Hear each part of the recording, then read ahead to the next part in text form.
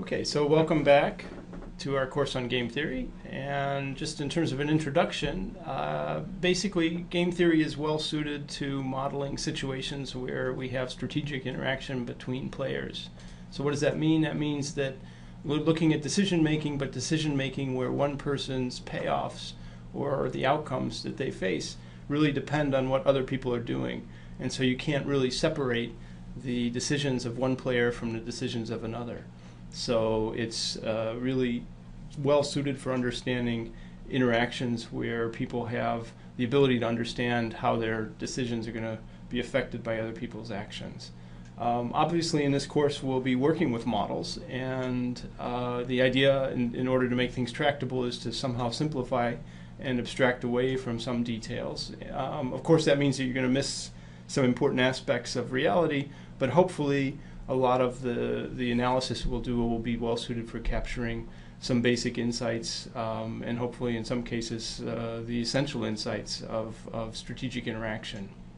So let's start by talking through a few examples of the potential applications that game theory has been used for. So just uh, to throw some out, um, war, uh, why do countries arm differently? So you see some countries which are very heavily armed and spend a lot of their GDP on uh, ar armaments, while other countries spend very little.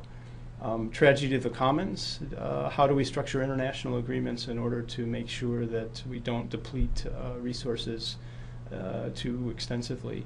Um, how should the international agreements be structured? Um, markets. Uh, what will happen if we allow two companies to merge that are actually large companies and might come to dominate a, a market? Um, e-commerce. So if you want to structure an online auction and want to maximize revenue, uh, how should that be designed? Uh, how would you make sure that uh, sellers are actually behaving themselves and delivering goods to buyers? Um, there's lots of legal applications. So if you wanted to think about uh, auditing um, somebody who's uh, supposed to be paying taxes, how should you design your audits?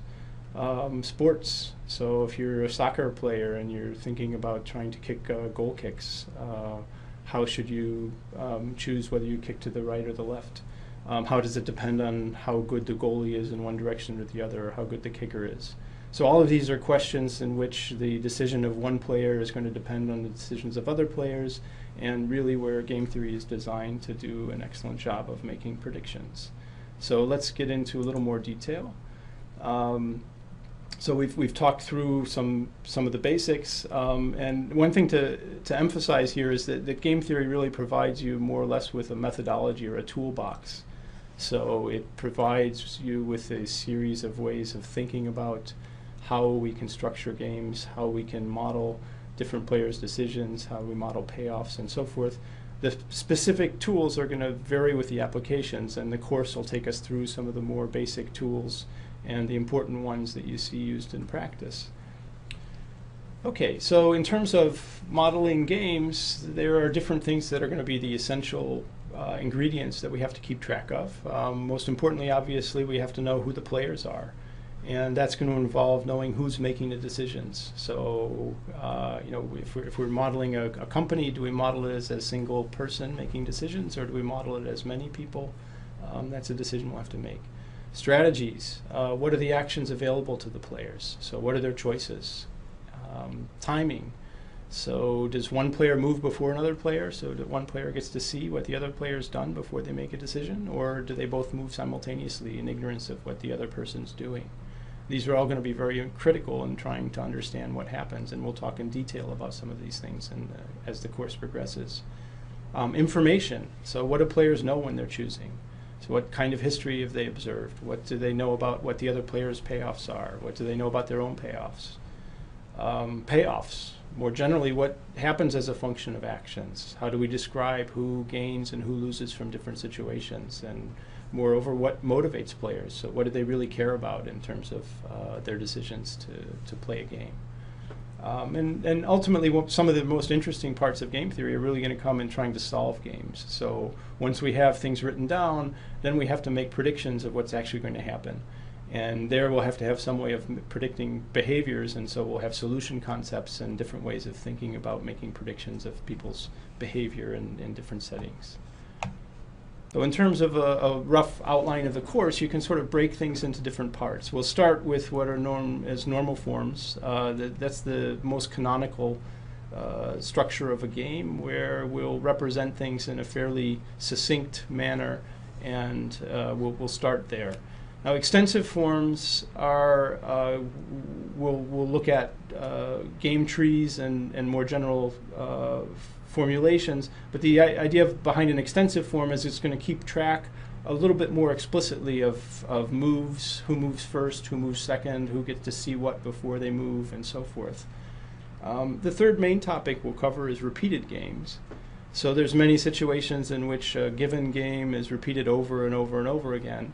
And when you're playing with the same uh, set of players in, in repeated situations, that can change the incentives relative to what you would have done in a single situation. So um, we'll start by analyzing games in isolation and single rounds, and then we'll move to repeated games. And finally, uh, one of the more important topics that we'll get to towards the end of the course is bringing in incomplete information into the setting. So most games that you actually deal with in the real world involve some degree of uncertainty in players in terms of what they might expect from other players, in terms of what the other players' motivations are, payoffs, what their own payoffs are. And so we'll talk about how we model incomplete information in a, in a general way. Okay, so let's get started. So our first topic here is, is now the normal form games. And before we go through the formal definitions, it might be useful to just go through an example to give you some idea of the scope of game theory and to give you an idea of, of how this is done and so forth. And then we'll come back to some formal definitions after we've done this. Um, so uh, the, the, first example that we'll talk about is uh, predator prey games. And this is a, a, an analysis that's based on a paper by Chen Shi and Sheng Bao in 2008. Um, and it's a very simple abstraction of strategies that might be used in animals um, between predators and prey. And the, basically, it's going to distill things into a very simple form of game where a, player, now a predator or a prey, can choose either to be active or passive. So let's uh, talk a little more about what that is, is going to be. Um, so the idea here is, is uh, you can choose to either have a, a, a, an active strategy, meaning that you're expending a lot of calories, moving around quickly, or you can sort of sit and wait. So, um, you know, spiders you could think of as being a passive uh, insect. Um, something like a lion that moves around and has to chase prey, that's going to be an active strategy. So they have the choice of, of being active or passive, and the payoffs that they get are kept track of in, in this formulation by just keeping track of the expected calories that they capture less the uh, uh expected calories that they expend for the predator. So if you're active, what does that mean? That means you're going to expect to burn more calories as you're chasing prey around, but you also uh, are going to expect to capture more. So there's going to be a trade-off possibly, and, and we'll have to look at that in detail. Now the prey, um, here the payoff is kept track of in terms of uh, an expected penalty for death. So obviously you don't want to be caught by a predator, um, but also you burn calories if you're moving around actively. So the trade-off here is if you're active, uh, you have less of a chance of being caught, um, but you're also burning more calories. So the important thing here is that the expected calories that you burn and the expected rate of capture depend on the interaction between the strategies of both the players. So let's have a look at how that works. Okay, so now in, in terms of making some predictions about what's going to happen in the predator-prey game, uh, the first thing we can begin to do is look at the different payoffs that the predator gets, for instance, as a function of which choice they make. So let's have a peek at that. The predator here, if we look at whether they're passive or active, we end up seeing that if they're passive and the prey is active, they get 1.6. Whereas if they're active and the prey is active, then they get 1.7. Right? So we've got 1.6 if they're passive and the prey is active, whereas they get 1.7 if they're active and the prey is active. So obviously, it's better for them if they expected the prey to be active to be active. We can do the same kind of analysis conditional on the prey being passive. So suppose the prey was going to be passive, what would the predator want to do?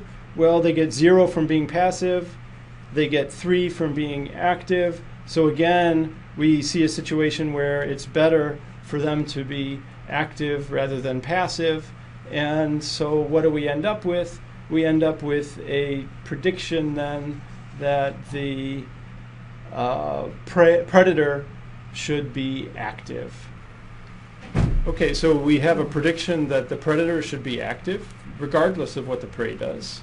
So once we go to making a prediction that the predator is going to be active, then we end up having to look then at, at what should the prey do conditional on the predator being active. So if the predator is active, the prey, prey gets a payoff of minus 0.8 if they're active, minus 1 if they're passive. Obviously, it's better to get minus 0.8 than minus 1. So they should choose to be active as well. So when we solve this game, what do we end up with? We end up with a prediction that both predator and prey will end up being active. Obviously, this is an abstract formulation where there's a lot of things that have been swept under the rug, but just based on some really simple calculations of calorie expenditures and simple strategies for predator and prey, we end up with a prediction that for large mammal games, according to the paper, um, that we should end up with both of them being active. Okay, so we could begin to ask ourselves, are most large mammals active? Uh, well, you think about most predators you can name lions, tigers, leopards, wolves, coyotes, etc., etc. Um, most prey, deer, antelope, zebras, and so forth, yes, they're active. Uh, it's not exclusively true. Um, you could think of things like sloths or other kinds of animals that are quite passive. Um, but we end up with, uh, with a prediction that, that seems to match some things. Uh, so obviously, we can enrich the game to take into account different kinds of habitats, changes in, in uh, climate, changes in the um, particulars of the geography and so forth. That's going to enrich the game, but also lead to a much more complicated analysis. So, for our purposes, this begins to illustrate what's going on. Um, let's take a look just at, at, a quick variation on this, where instead of thinking of large mammals, now we think of small insects. So, here um, are the payoffs from the same paper we talked about just a moment ago, but now readjusted for small predator prey uh, games where we are dealing with insects instead of large mammals. What do we see here? Well, now let's look at the predator's strategies again. So if the predator expects the prey to be active, then what should they do? Well, they prefer to be passive because in this particular situation, active prey in an insect game are hard to catch. You'd better be you'd be better off not expending too many calories, being passive. Um, so now let's think about well, suppose the predator was passive. What should the prey do? Take a look here. Well, they get minus six if they're uh, if they're active. They're burning calories. Um, since the predator is being passive, they might as well be passive too. They don't burn as many calories, so here they get a zero. Okay, well, if now the, the prey was being passive, what should the predator do? Well, we end up with a prediction that if the prey was really going to be passive, now being active really pays off. You catch a lot of prey. So you get 6 versus minus 1. That's a better payoff. So we're sort of moving around here. So now if the predator is active, what should the prey do? Um, well, when we go through the last part here, they get minus 8 if they're passive, minus 7 if they're active. So what have we got here? We've got a cycle with no particular pair of actions where both of them would stay put if those were the choices. So this is a game where we don't have any stable pair of strategies. The prey wants to match what the pass what the predator's doing, and the predator wants to mismatch. So we're going to have a game which actually is going to end up um, having to be solved using some randomization. So we'll come to that a little later in the course. This is going to be a game where what we actually see is some predators being active, some being passive, some prey being active, some prey being passive, and they'll balance each other to make sure that everything works out. And we'll talk about that in some details.